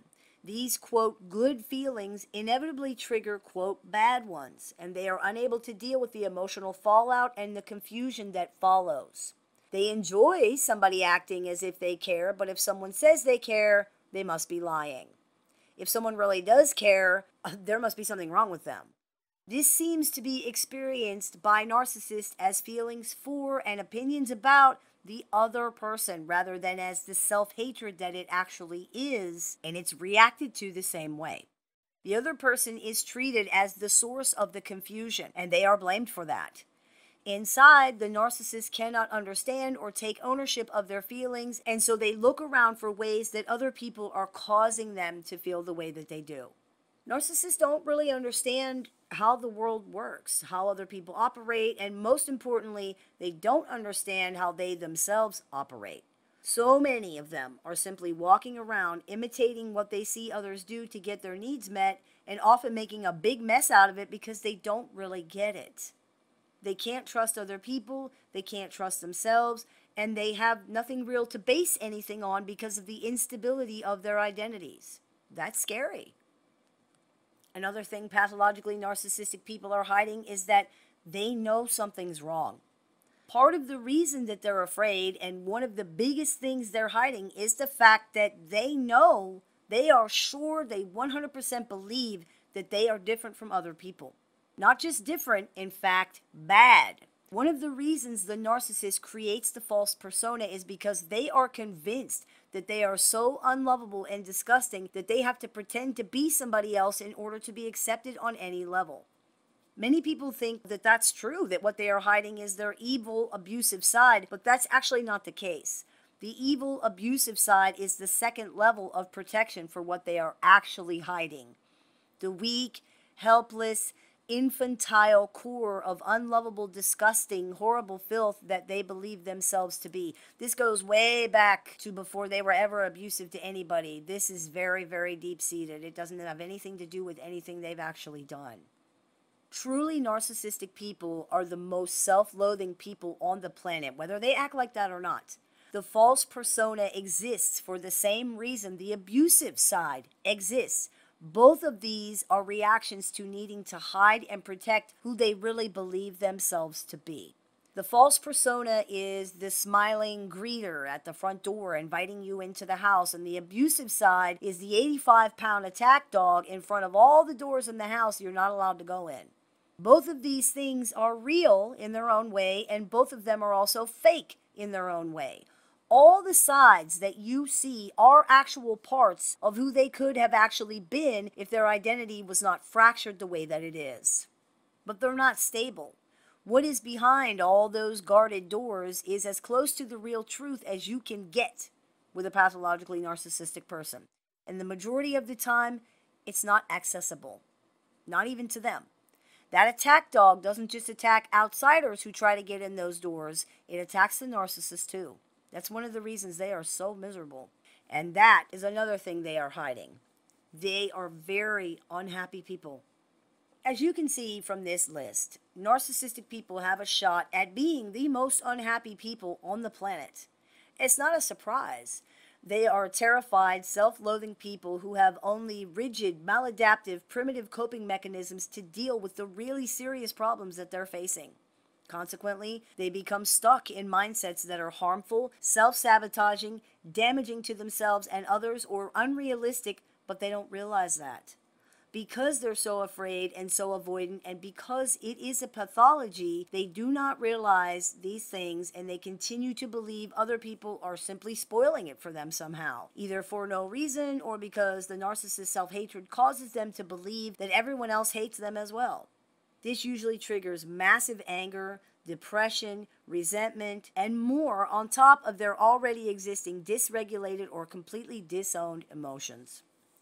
None of this is a recipe for happiness. Pathologically narcissistic people are in a constant state of survival mode. And because of the rigidity, the fixed beliefs, and the inability to adapt, many have lost any capacity for true happiness if they ever had it at all. They seem to view themselves as helpless boats adrift on the sea of life, unable to do anything but react to what they perceive is being done to them. Even when they seem to be taking action, investigation usually shows us that they are actually reacting to their own emotions or beliefs, which they often interpret illogically as things that other people have done to them anyone would be unhappy with that mindset and the rigidity of pathologically narcissistic traits makes it extremely difficult for this to be changed. The arrested emotional development that we usually see in this kind of personality makes it hard for them to even see any of this, let alone change it, and the maladaptive coping mechanisms cause them to perceive harmful intentions in anybody who tries to help. So there you have it. These are some of the biggest things that Dr. Jekyll is hiding. The important thing to remember is that by understanding what you're dealing with, you can better understand the reality of the situation, which is that this is a pathology. It's not your fault, it's not your responsibility to fix it. More than that, you don't have the ability to fix it. If someone has a life threatening illness, for example, but they refuse to go to the doctor, you can't do anything about that decision. You can't do anything at all except decide how and if You want to move forward with the relationship.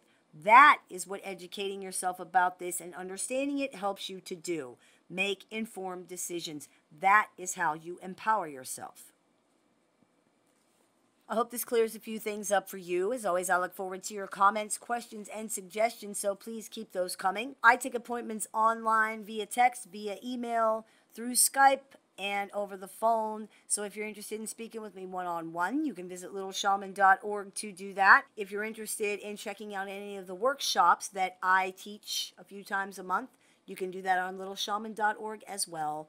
You've been listening to the Meditations and More podcast brought to you by earthmamacbd.com and littleshaman.org. That's right, it's back. That's me, the Little Shaman. May the Great Spirit bless you and have a wonderful day.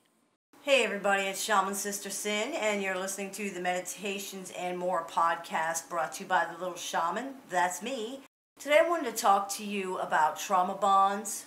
Trauma bonds are exactly what they sound like. They are bonds formed by trauma, and they are strong. As I stated in the recent episode of the show, Healing from Narcissistic Abuse, bonding is both a biological and emotional process, unlike love. Bonds don't fade over time. You can't fall out of bond the way you can fall out of love. Bonding survives even when you don't love the person anymore or even like them. These bonds have to be broken in order to move on and heal. It's very difficult to stay away from a person you have bonded with, which is why people stay in abusive relationships even after they know they should leave and even after they actually want to leave.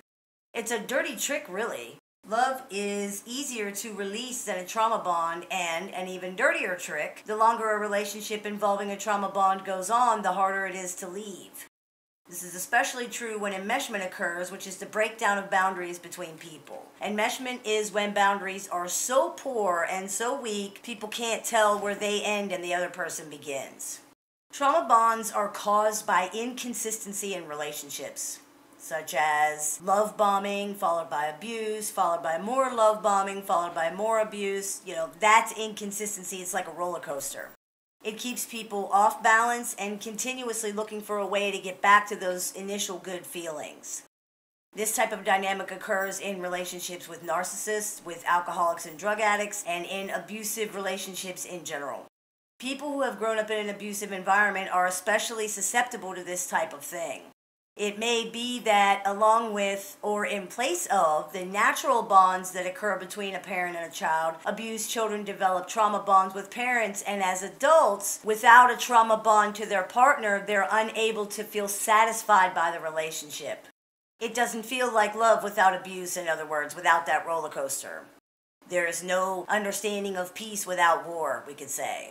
That's likely why we often see people who have narcissistic parents then go on to marry a narcissistic person. They've been conditioned that this is how relationships should feel, and that's not just a cognitive thing, it's not just a learned behavior. Trauma and upset causes hormones to be released in the body like cortisol, adrenaline, you know. The honeymoon part of the relationship, where everything is nice, causes more hormones to be released like dopamine after years of being exposed to this pattern, your body starts to think that that's how it's supposed to be, and so does your mind. It doesn't really know anything else. You become, for all intents and purposes, addicted to the chemical dump, the excitement, and the drama. This cycle is sometimes called an arousal jag, and we do see that in narcissists. Quote, regular, as in non abusive, relationships feel less intense and are therefore often experienced as boring, uninteresting, or shallow. It's kind of like the nice guys finish last scenario. After the trauma bond has been created, it feels like only the abusive person can feel that need, which is why it's so hard to stay away from that person. The excitement and intensity of this arousal jag is often mistaken for love. It is not. It's a chemical and emotional pattern your body became accustomed to and then dependent on as a result of abuse and inconsistency. It's about the cycle, not the person. This is one reason why being discarded by the narcissist is so painful. You're stuck in the war with no peace. You went up on the roller coaster and then you just stayed there. You got stuck there. There's no come down into the good feelings. And after years of conditioning, your body and mind believe they can't get along without it. Again, it's about addiction to the cycle, not the actual person themselves.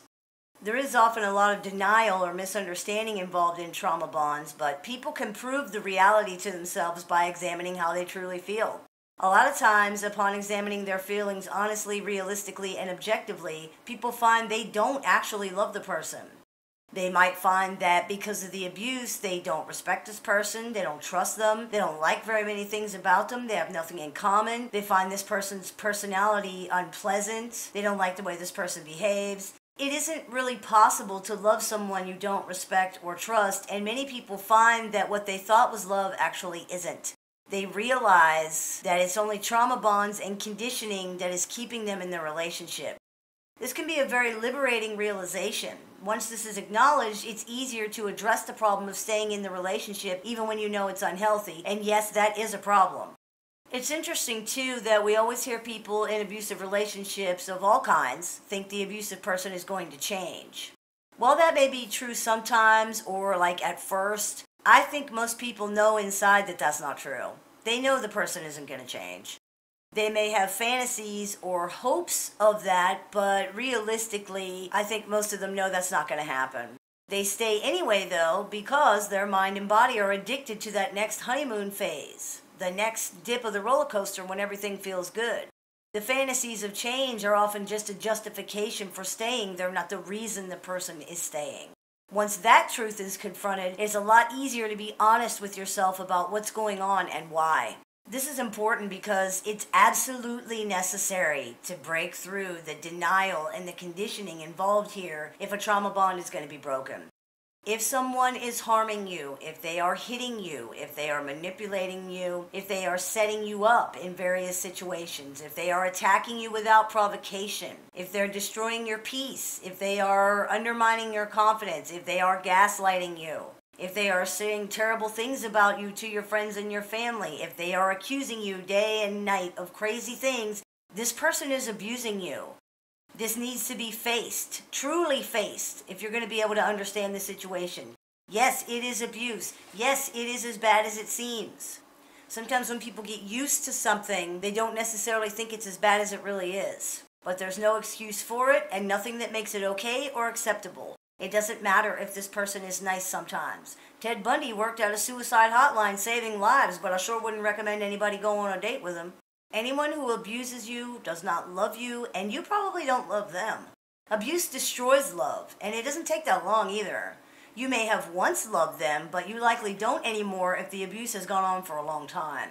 You may just be locked in a trauma bond with them, and they're just as addicted to the abusive cycle as you are. This is one reason they are constantly pulling at you with their siren songs of hope and change and love and all these things. It's not just their desire to control and their fear, though those things are part of it, it's their addiction to the cycle. This is also why the abused person gives in and stays or comes back after they've left. It isn't that they believe the abusive person's proclamations of change and remorse, it's the cycle. It's that feeling when the madness is over. It's the return of what feels like love. It's those good chemicals pumping through your brain. It's like a guy beating his head into the wall. Somebody comes up to him and says, Why are you doing that? And the guy says, Because it feels so good when I stop. That's the cycle. You're beating your head into the wall because you like the way it feels when you stop. Some signs you might have a trauma bond, besides recognizing the things I just said, would be the denial that we just talked about, where this person has failed to keep their promises or do what they've said, yet you continue to believe them. You feel stuck in the relationship and unable to detach from this person even though you don't want to be in it anymore or don't love or even like the person anymore. You have stayed in the relationship past the point where you consciously know you shouldn't have, and the desire to reunite with this person feels irresistible when you do leave. It's so painful to you, it's like an amputation. Ending relationships is often painful, but if it's so painful that it feels like it's going to destroy you and you can't bear it, something's wrong with that. And let me say right here that although there are some similarities, trauma bonds are not codependency. They are a different dynamic.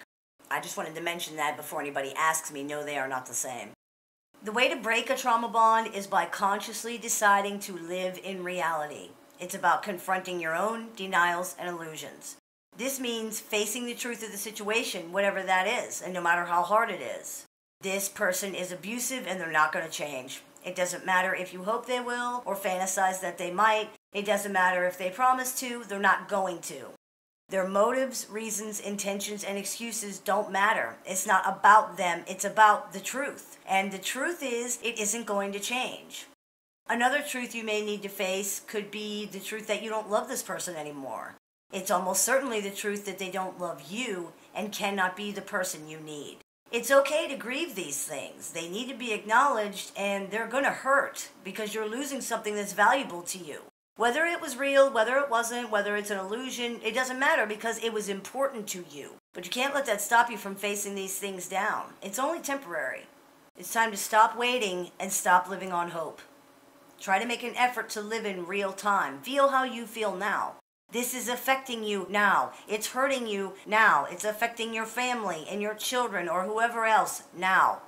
Don't let your mind just brush that off or deny it in favor of hopeful thoughts for the future. This is the future.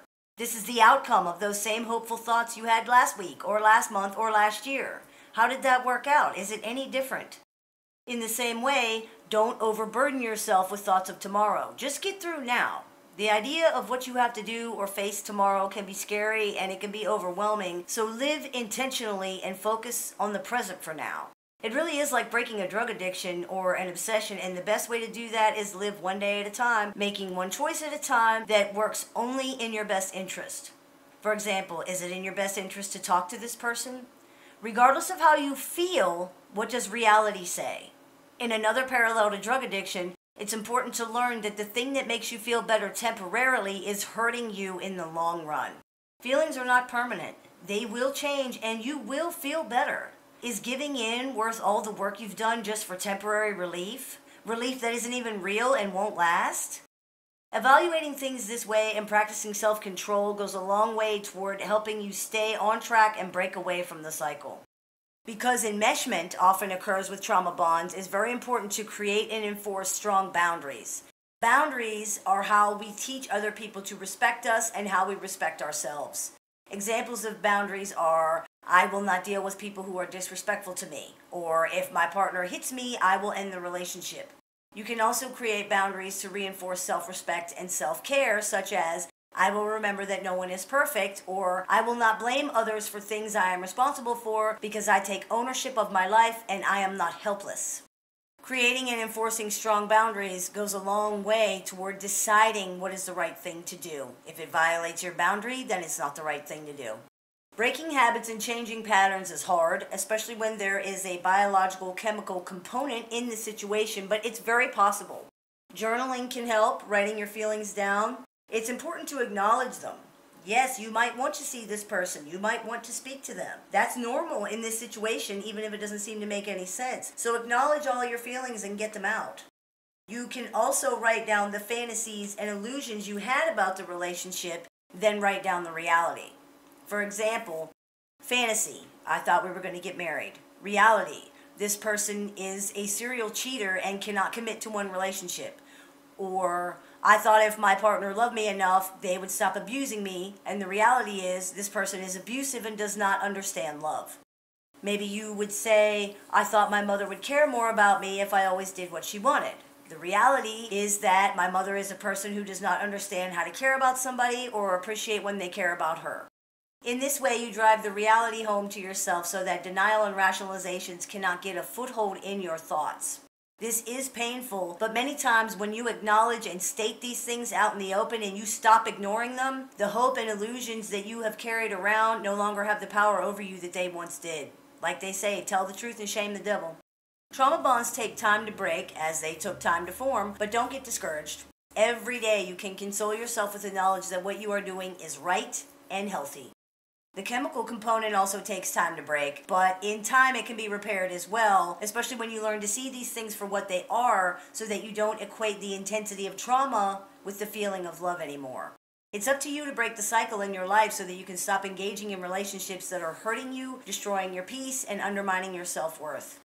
Once you've broken the trauma bond and begun to heal, you can look forward to the future and start building a healthier life with healthier focus and better connections. The cycle of trauma bonding becomes so ingrained in a person's life partly because of their inability to recognize what love is. That's not your fault, so it's time to fix it and stop using outdated programming that you don't need anymore. Start showing love to yourself and stop accepting less from others. You really do deserve better.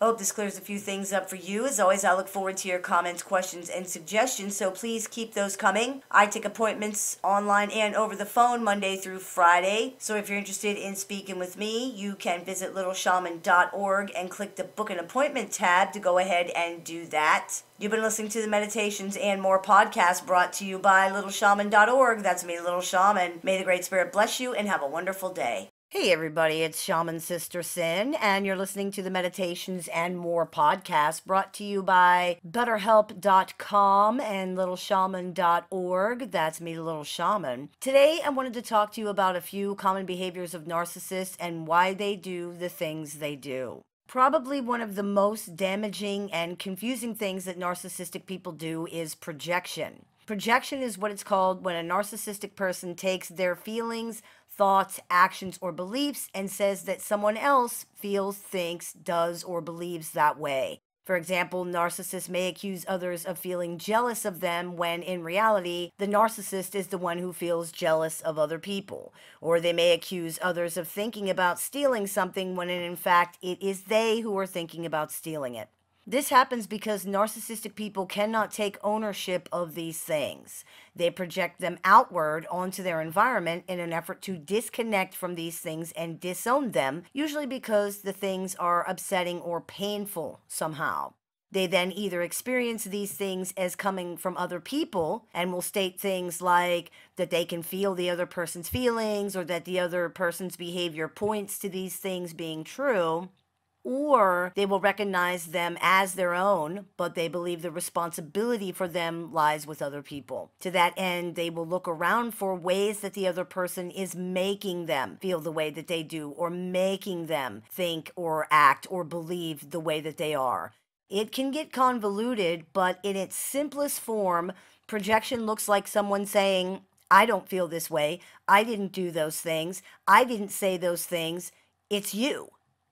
This way, they don't have to face anything unpleasant about themselves, nor do they have to take responsibility for their thoughts, feelings, or actions. Blame shifting and shame dumping are directly related to projection. Projection is an unconscious defense mechanism designed to deny and disown things that are considered unacceptable about the self. Conscious projection is called lying.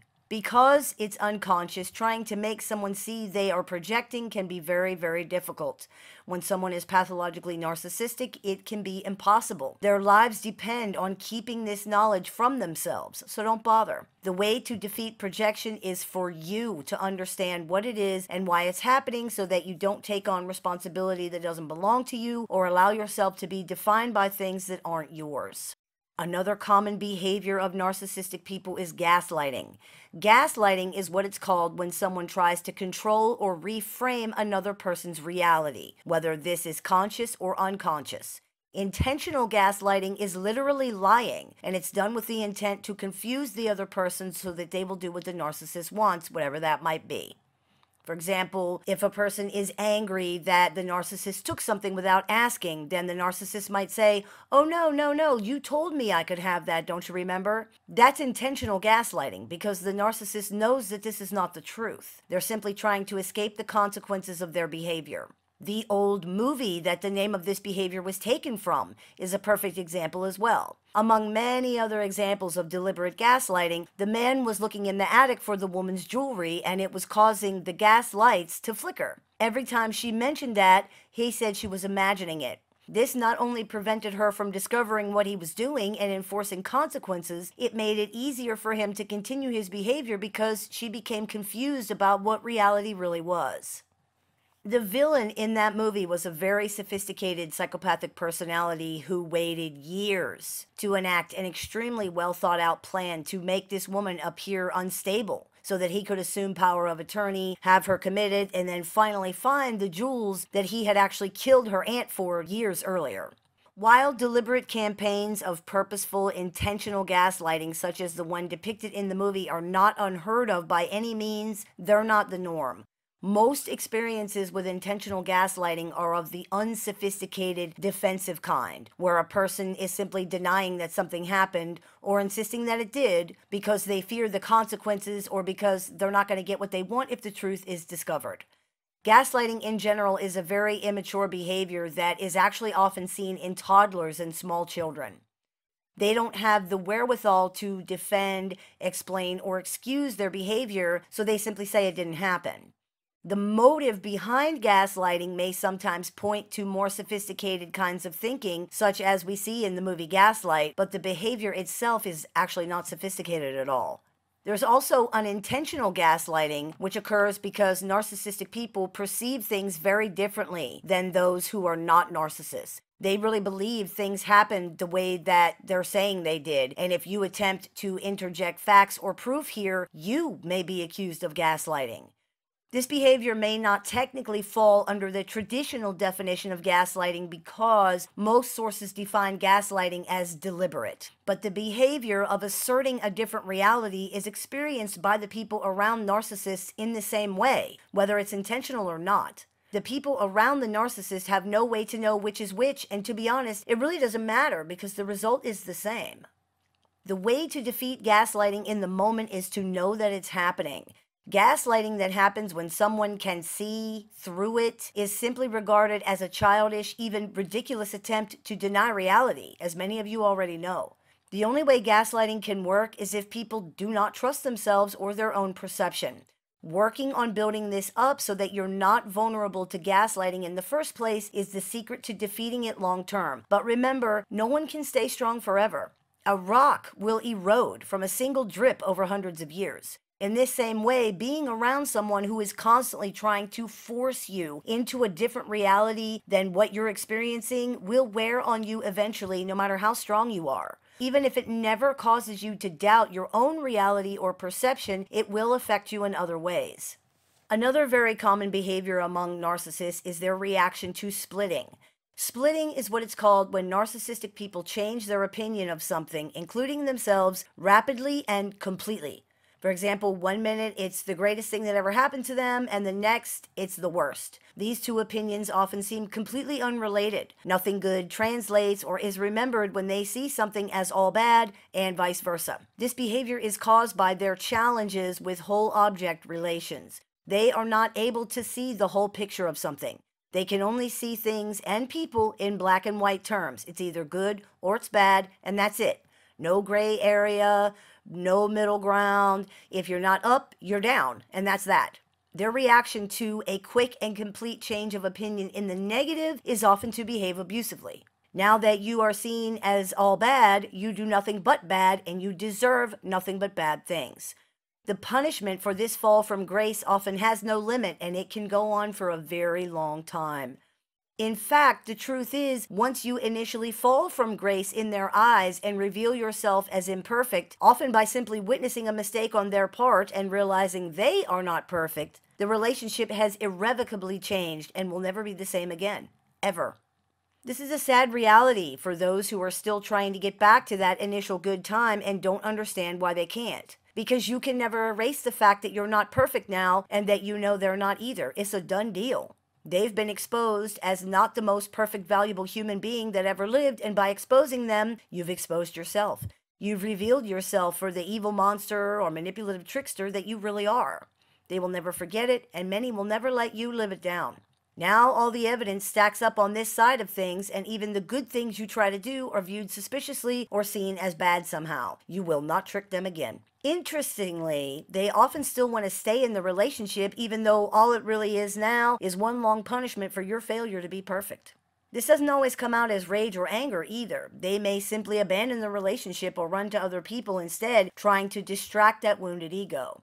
They may say they've become bored, that you're not good enough for them any longer. No matter how it comes out, this behavior is upsetting and confusing, often because you don't realize what you've actually done wrong. They seem to have just changed their opinion of you for no reason and often will not even explain. The whole situation is hurtful and it's hard not to take it personally. However, it's not personal. Their behavior and change of opinion is not about you. It's about themselves and the shame that they're always trying to outrun.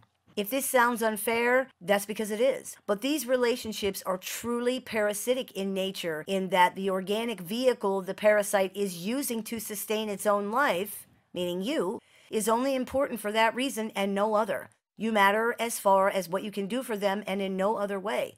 Manipulation is the only means through which narcissists can interact with other people, and this is not going to change. The way to deal with splitting is to understand that it's not reality and it's not a reflection of who you are. It's not even about you. It's a reflection of the narcissist's inability to realistically comprehend a whole personality instead of just polarized, over dramatized representations of parts of a personality. As with gaslighting, however, understand that it is not realistic to believe you can remain untouched by something like this. It's unrealistic to believe that you can deal with someone saying horrible, terrible, and untrue things about you on a regular basis without it eventually getting to you somehow. With all of the things that narcissists do, it's important to remember that dealing with our own stuff, our own triggers, and our own perspectives helps disempower and de weaponize their toxic and abusive behaviors. However, it does not stop them, and it will not protect you from being affected by it in some way if it continues. This behavior is an environmental toxin that must be removed if you are going to be healthy. Think of it like being in a room with poison gas. When you're in the room breathing in the gas, you feel ill. When you leave the room and you breathe fresh air, you feel better. Your sickness disappears. Even if you become used to it, it's still there. It's still affecting you. On this show, we talk a lot about dealing with your own stuff, and dealing with your own stuff is absolutely imperative on top of being very empowering, but it does not, will not, and cannot make a relationship with an abuser healthy. While you're dealing with your own stuff, they're not dealing with theirs. And no matter how healthy, empowered, or strong you become, you simply cannot mitigate that fact. I hope this clears a few things up for you. As always, I look forward to your comments, questions, and suggestions, so please keep those coming. I take appointments online over the phone, via text, via messenger, via email, and through Skype around the world. So if you're interested in speaking with me one on one, you can visit littleshaman.org and click the book and appointments tab to do that. I teach workshops, seminars, and clinics throughout the year and several times a month. So if you're interested in seeing what we're running at this time, you can visit littleshaman.org to do that as well. You've been listening to the meditation and more podcasts brought to you by BetterHelp.com and LittleShaman.org. That's me, the Little Shaman. May the Great Spirit bless you and have a wonderful day.